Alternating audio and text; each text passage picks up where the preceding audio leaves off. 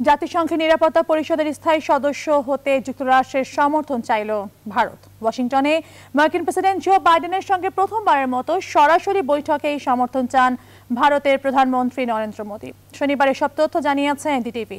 এ সময় নিরাপত্তা পরিষদে ভারতের অন্তর্ভুক্তির বিষয়ে যুক্তরাষ্ট্রের সমর্থনের কথা পুনর্ব্যক্ত করেন বাইডেন। প্রশংসা করেন ভারতের শক্তিশালী নেতৃত্বের। নিরাপত্তা পরিষদের পাঁচ স্থায়ী সদস্য দেশ, যুক্তরাষ্ট্র, যুক্তরাজ্য, চীন, রাশিয়া ও ফ্রান্স। এই দেশগুলো যে কোনো সিদ্ধান্তে ভেটো দেওয়ার ক্ষমতা রাখে।